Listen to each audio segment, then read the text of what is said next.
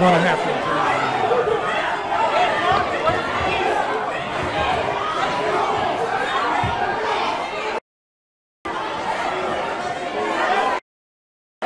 Let's have order.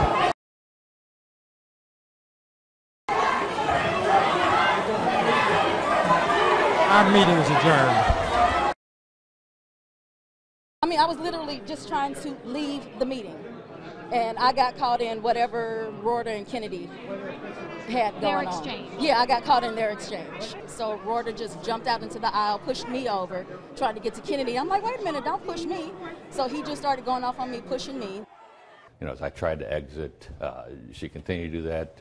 Two or three other uh, anti-police radicals uh, rushed over, and, and, and things uh, de-escalated or escalated from there. You didn't push a woman though. No, no.